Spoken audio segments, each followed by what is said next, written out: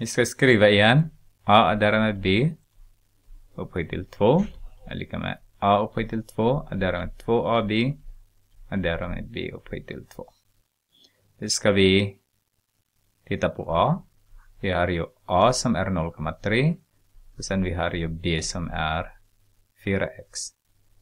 Så har vi A upphöjt till 2 är 0,3 upphöjt till 2 adderar med 2 multiplicerar med A är 0,3 multiplicerar med B som är 4x adderar med 4x parentes upphöjt till 2. Så har vi 0,09 3 gånger 3 är ju 9. Har vi två decimaler, så 0,09 adderar med eh, 0,6 gånger 4, det är 2,4 x och sen addera med 16x upphöjt till 2. B. Då har vi A som är 1,5x och sen har vi 9e som är B. Så vårt A är 1,5 x lägger vi den i parentes upphöjt till 2 adderar med 2 multiplicerar med A som är 1,5 x och sen B som är 9 addera med 9 i parentes upphöjt till 2. Så har vi 1,5 upphöjt till 2. Det är 2,25. Därför 15 gånger 15 är 225. Det blir 2,25 där då.